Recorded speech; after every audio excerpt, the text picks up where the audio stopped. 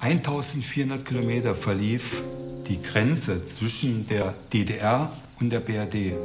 Also quer durch Deutschland teilte das Land in zwei völlig unterschiedliche politische Systeme. Diesem grünen Band, wie sich es heute nennt, wollte ich einfach mal folgen.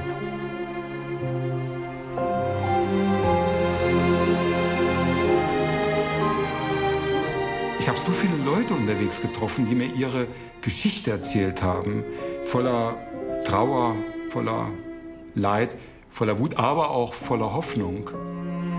Das war schon unglaublich eindrücklich.